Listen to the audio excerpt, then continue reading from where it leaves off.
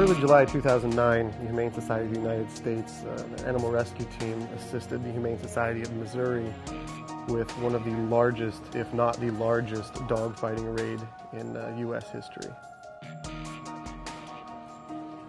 On each and every deployment that we go on to, responders typically find a dog that we connect with, and whether that dog picks you or you pick him.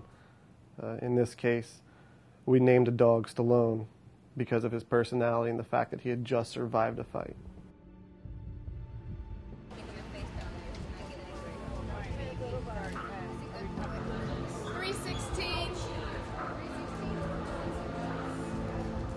When I saw Stallone's face, several things went through my mind. Um, first, this was a dog in desperate need. Second off, you ask yourself, why do people do this to animals? It's, uh, it's cruel. It's, it's one of the most horrible things that I've ever seen. I've, I've actually never seen a dog in that bad of condition. Stallone, however, caught me off guard with his injuries.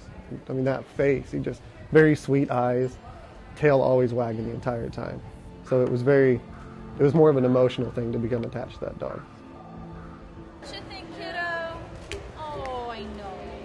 I mean, really, it's heartbreaking. I mean, he had such severe injuries to the face, but he just wanted to be held and touched and, and was actually very docile. I mean, a, a dog like that, he, he just wants to please his owner. Uh, he just unfortunately was bred into a home that instead of facilitating uh, a companion relationship, he was used for uh, being pitted against other dogs. But his condition was, you know, grave.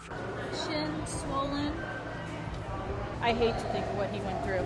I just can't imagine. He was ripped apart.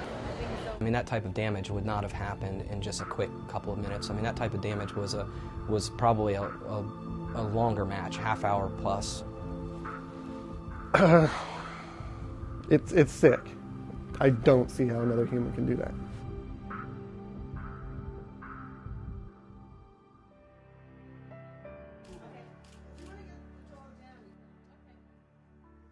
Well, tail was the only thing that really didn't have any bite marks on it. That poor dog was just wagging away, wagging away. I can't quite wrap my mind around how a dog who has been that physically and mentally abused um, can still curl up in your lap and give you a kiss. And even though he doesn't know who I am, he was happy we were there.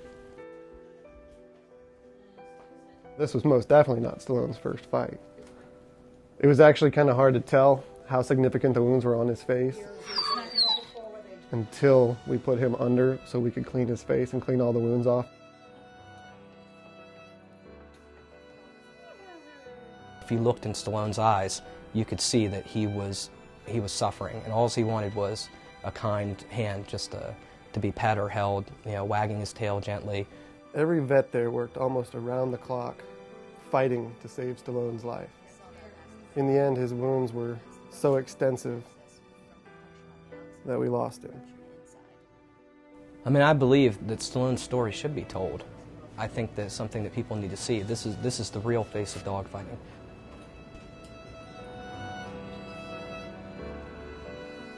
All they really, all they really wanted was somebody to love them, give them a good pet, give them a good home. You know, dogs like that just want love and attention.